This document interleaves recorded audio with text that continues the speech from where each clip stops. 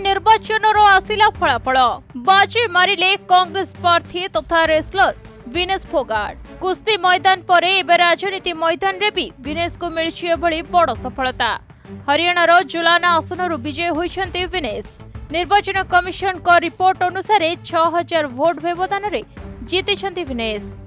ତେବେ ତୃତୀୟ ଥର ପାଇଁ ରାଜ୍ୟରେ ଶାସନ କରିବାକୁ ଯାଉଥିବା ବିଜେପି ପକ୍ଷରୁ ବିନେଶଙ୍କର ପ୍ରତିପକ୍ଷ ଥିଲେ ଯୋଗେଶ କୁମାର। ପ୍ରଥମ ରାଉଣ୍ଡରୁ ବିନେଶ ତାଙ୍କୁ ପଛରେ ପକାଇ ଆଗେଇ ଚାଲିଥିଲେ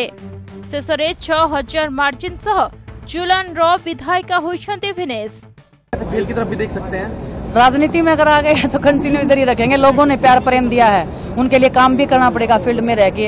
ऐसा तो है नहीं कि हम दोनों चीजें कर सकते हैं साथ में। कांग्रेस कांग्रेस नेता कांग्रेस पार्टी पार्टी आपकी पिछड़ गई है सरकार नहीं बन पा रही इसको लेकर क्या कहेंगे देखिए अभी वेट कीजिए थोड़ा सा अभी सारे रिजल्ट नहीं निकल के आए हैं एक एक सीट निकल के आ रही है पहले हमारा भी पीछे चल रहा था लेकिन हम भी लीड में आए हैं तो अभी रिजल्ट चल रहे हैं अभी क्लियर नहीं हुआ जब सर्टिफिकेट हाथ में आएगा तो कांग्रेस पार्टी की सरकार बनेगी राजनीति में कंटिन्यू रखेंगे या फिर खेल की तरफ भी देख सकते हैं ତେବେ ସୂଚନା ରହିଛି ହରିୟାଣା ବିଧାନସଭା ପାଇଁ ଅକ୍ଟୋବର ପାଞ୍ଚରେ ମତଦାନ ହୋଇଥିଲା